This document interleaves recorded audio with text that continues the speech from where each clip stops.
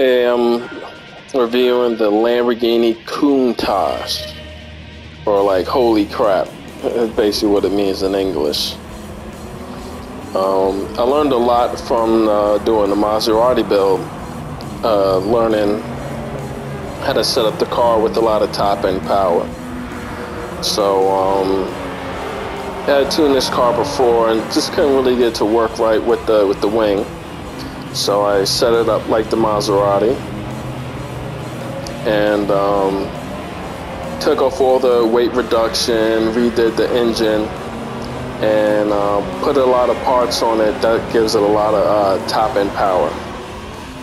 And then um, I put soft tires on the rear and mediums in the front because uh, the back likes to kick out.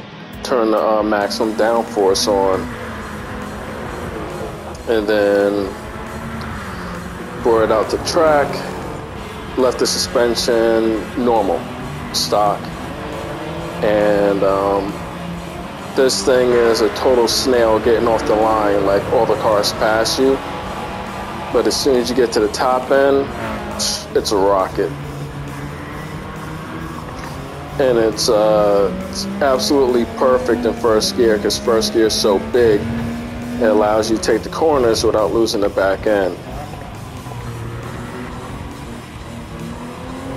So now I can just go flat out first gear second.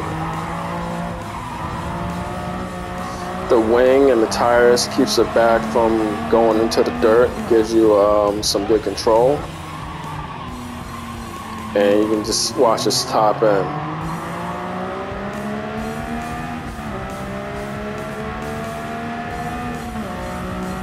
See you later.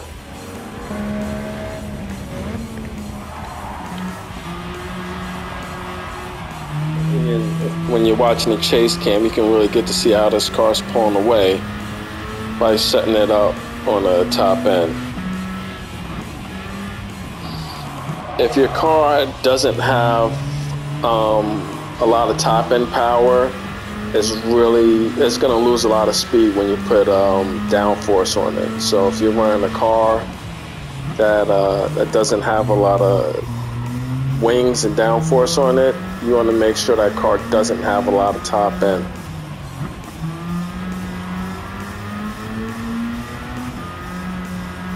And you can see the car just getting small. That's all that top end power and the downforce on the wing just to keep it from going crazy.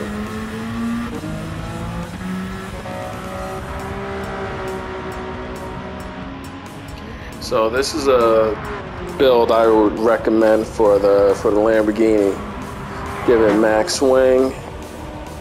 Uh, give it some nice sticky tires in the back um, medium, like one step down. So softs on the back, mediums in the front.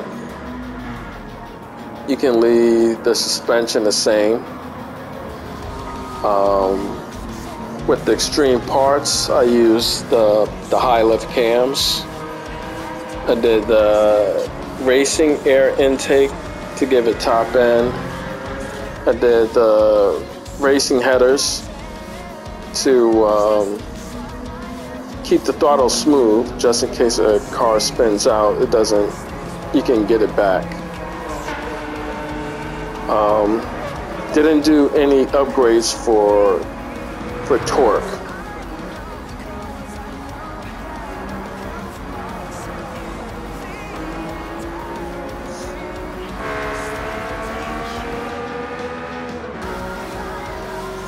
and uh, that's about it. It's definitely a nice, fun build.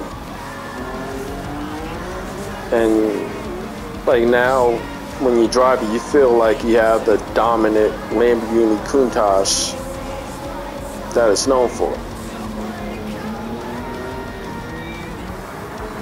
And this game gives you a bonus when you have um, less understeer. So when you have a lot of downforce and stuff that just puts weight on the back, to limit the car's ability to turn, you get extra performance points. But when you put a lot of sticky tires in the front and suspension to get the car to turn, then they take away uh, your performance points. So I don't recommend doing the weight reduction on this car.